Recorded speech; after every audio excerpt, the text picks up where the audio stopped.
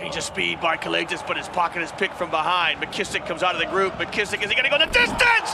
Oh! Shaq attack! Shaq McKissick, welcome to the Derby of the Eternal Enemies! And this is a terrific bit of play here. McKissick trying to break down Calathes. Couldn't close up by Calathes. An even better shot by Shaq McKissick just after the back-to-back EuroLeague titles. Bartzokas sends his team in with the instructions. Watch Rochester. He's going to pick and slip. There's the slip. McKissick on the bounds and got it. Shaq McKissick scores. Great steal by McKissick as he picks the pocket of Calathes and the thunder dunk.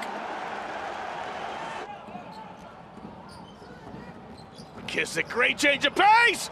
Another thunder dunk from Shaq McKissick. He's explosive. Just a change of pace off the left hand.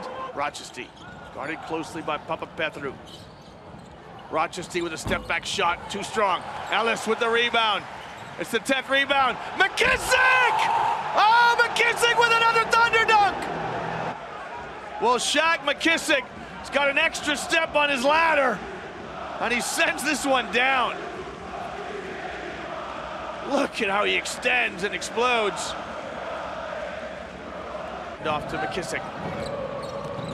McKissick on the high ball screen. McKissick to the basket. Will it go? It will! Shaq McKissick goes two rows deep into the crowd.